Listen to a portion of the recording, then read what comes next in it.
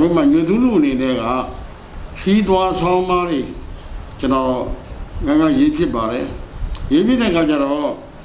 ခီးသွားဆောင်မားရဲ့တဲ့ကြောင်းရင်းကလည်းဘာကြောင့်လဲဆိုတော့ကျွန်တော်ကိုယ်တိုင်ကခီးသွားတာတွေကိုဝါနာပါလို့ပါတယ်လို့ဒီလိုရေးဖြစ်အောင်လဲအရင်ကရေးခဲ့တဲ့ဒီစာရေးဆရာကြီးတွေဆရာမြတ်တန်းတင်တို့လိုဆရာဦးသိန်းပြင်းပြင်းတို့လိုရဲ့စာရီဖတ်ခဲ့ကြကြပို့ပြီးတော့အာယုံနိုးလာပါတယ် အဲဒီ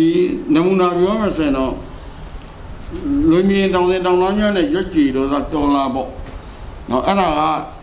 2000အဲခုနှစ်ခုနှစ်ကသွားခဲ့တဲ့ခရီးနမတ်တောင်ပေါ့နော်အဲ့ဒီကအဲ့ခရီးစဉ်ကိုကျွန်တော်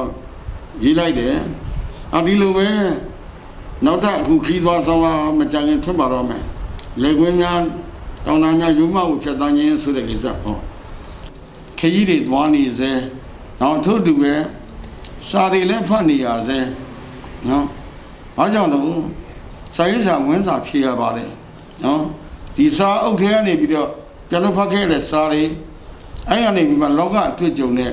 ပေါင်းဆက်ပေါင်းဆက်ပြီးမှစာရေးရတာဖြစ်ပါတယ်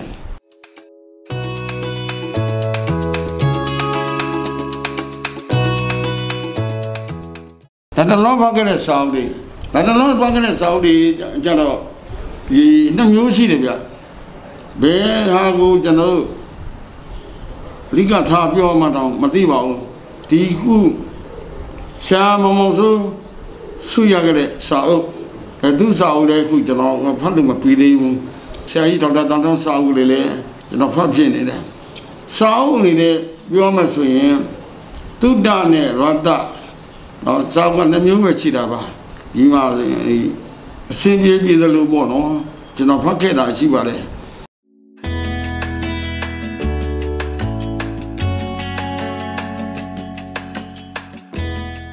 ဒီစာပေမှာလည်းအများကြီးပါတယ်ခုနိုင်ငံရေးနဲ့ပတ်သက်တဲ့စာပေတွေနော်တုဒ္ဒနဲ့ပတ်သက်တဲ့စာပေတွေရတ္တနဲ့ပတ်သက်တဲ့စာပေတွေဒီဟာတွေအကုန်လုံးရှိပါတယ်ပွင့်လင်းမြင်သာရှိလက်တဲ့ခါကျလည်းစောင်းတွေလည်းအများကြီးထွက်ပါတယ်အရင်ဆုံးပေါ့လေဒီရတ္တຫນွေတဲ့ဆောင်းပါပဲဖြစ်ဖြစ်ဖြစ်နောက်ဝိထုပဲဖြစ်ဖြစ်အဲ့ဒါလေးတွေကိုကျွန်တော်အရင်ဆုံးဖတ်စိတ်ခြင်းတယ်တုဒ္ဒစာပေနဲ့ရတ္တစာပေက မတူပါဘူးဟမ်ဘာသာစာပေနှလုံးသားနဲ့ခံစားရတာပါအခုကျွန်တော်တို့ဖတ်ခဲ့တဲ့စာတွေမနှဲပါဘူးမအဲ့ဒီထဲမှာကျွန်တော်တို့ပြောကြမယ်ဆိုရင်ဘာသာစာပေထဲမှာကျွန်တော်ဝိထုတွေကြောင့်ကျွန်တော်တို့ပြောနိုင်သေးတယ်ဘာကြောင့်လဲဆိုရင်ဒီဝိထုတွေဟာကျွန်တော်နှလုံးသားထဲမှာဆွဲသွားတာ哦အဲ့တော့စီစာပါချင်းမှာကျွန်တော်စာအုပ်တွေကို အမျိုးမြည်လိုက်ခွဲခြားမဲ့စာရတ္တစာပြီးနော်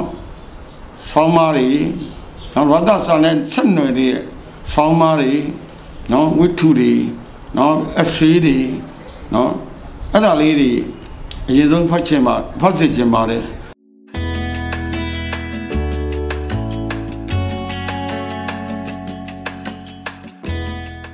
ကျွန်တော်စာပေဟောပြောဝဲသွားတာလေးကြတော့အဓိကတော့ အဲဒီကိုရောက်ခဲ့တဲ့ရက်ဒေသလေးကိုမလဲဆိုရင်နော်အနေထားလေးတွေကိုကျွန်တော်ရေးခဲ့ကျင်တာ